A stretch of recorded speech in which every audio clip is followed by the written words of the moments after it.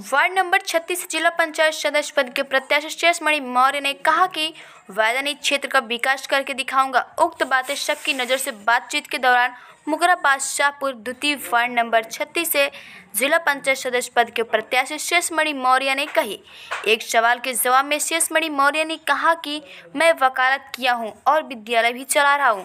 क्षेत्र में विकास के नाम पर खस्ता हाल सड़क वगैरह देखकर मेरे मन में आया कि क्यों न स्वच्छ राजनीति करके क्षेत्र का सर्वांगीण विकास करो। उन्होंने कहा कि आज मैं वार्ड नंबर 36 के कुदहू, लौह, डिहई का पूरा अचनका, कमालपुर सहित तमाम क्षेत्रों में दौरा करके लोगों से आशीर्वाद लिया। सबकी नज़र के लिए सर्वेश तिवारी के साथ एस एस पांडे की खास रिपोर्ट। पंचायत चुनाव का बिगुल बज गया है। इसी में तमाम ग्राम सभा, क्षेत्र पंचायत जिला पंचायत के प्रत्याशी क्षेत्र में घूमकर लंबे लंबे वादे कर रहे हैं। इसी कड़ी में हमारे बीच में वार्ड नंबर 36 जिला पंचायत सदस्य शेषमणि मौर्य जी उपस्थित हैं, जो एक कर्मठ, जुझारू और शिक्षा जगत के पुरोधा भी हैं। साथ ही साथ आप एलएलबी भी किए हैं। आइए आपसे बात करते हैं। आप क्षेत्र में भ्रमण कर रहे हैं। आपका एजेंडा क्या होगा जो जनता के बीच में आप जा रहे हैं?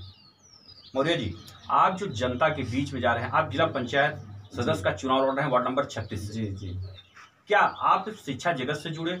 एलएलबी भी आपने किया। उसके बावजूद आप राजनीति में आपने कदम रख दिया ऐसा क्यों? शिक्षा जगत में जुड़े इसलिए कि यहाँ पर जो शिक्षा का जो लोग उपयोग कर दुरुपयोग कर रहे हैं व्यवसायीकरण कर दिए हैं उसका। अच्छी शिक्षा न दे करके पैसे के व्यवसाय के चक्कर में पड़े हुए हैं। मैं एक बढ़िया सा एजुकेशन के लिए बनाया हूँ विद्यालय और बढ़िया बढ़िया से पढ़ाई दे रहा हूँ, बच्चों को कम पैसे में अच्छी शिक्षा दे रहा हूँ, सारी व्यवस्था के साथ दे रहा हूँ।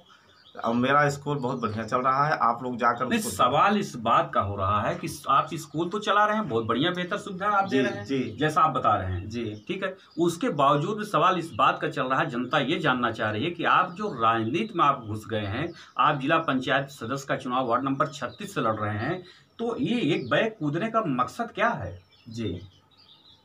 ये जनता जानना चाहती है आप राजनीति में क्यों आए हुए हैं? क्या विकास को लेकर क्या खाका तैयार है आपके पास? जी। मैं ज़मीन से जुड़ा व्यक्ति हूँ, बहुत गरीबी से उठा व्यक्ति हूँ। शिक्षा के बाद मैंने देखा कि गाँव में आने जाने के लिए ना रोड है, ना खड़ंजा है। जितनी रोडें बनी हुई आज तक हमारे यहाँ तमाम विधायक हैं, सांसद हैं, लेकिन एक भी रोड ऐसी नहीं है जो टूटी ना हो, फूटी ना हो। उसके लिए मेरी प्राथमिकता, सबसे पहली प्राथमिकता है कि जो गाँव में सड़कें गई हैं छोटी मोटी उनको बढ़िया से बनवाया जाए ताकि लोगों का आवागमन अच्छा हो। यानी ये देखा जाए कि आपके अंदर एक पीड़ा उभर करके आई क्षेत्र की स्थिति को देख करके आपके अंदर एक पीड़ा उभर करके आई कि रोड की हालत खस्ता हाल है, क्षेत्र में विकास नहीं है, लोग लंबे लंबे वादा करते हैं, लेकिन जीतने के बाद उसी भोली भाली की जनता को भूल जाते हैं। यही कारण है कि आपने, यानी शेष मणि मौर्य ने कहा, यही कारण है कि मैं क्षेत्र में आया हूँ, जिला पंचायत सदस्य का चुनाव लड़ रहा हूँ, और अगर जनता ने आशीर्वाद दिया तो क्षेत्र का चौमुखी विकास कराऊँगा। अपने सहयोगी सर्वेश तिवारी के साथ, मैं पांडे मुगराबाद शाहपुर जौनपुर।